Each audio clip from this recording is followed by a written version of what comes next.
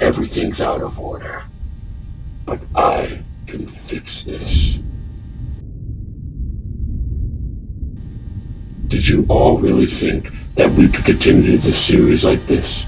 All the episodes out of order?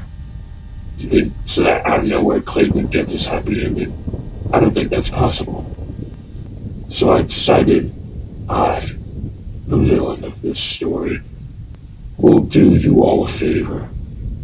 I will reset the timeline all the way to the beginning. And hopefully, this series can have better context.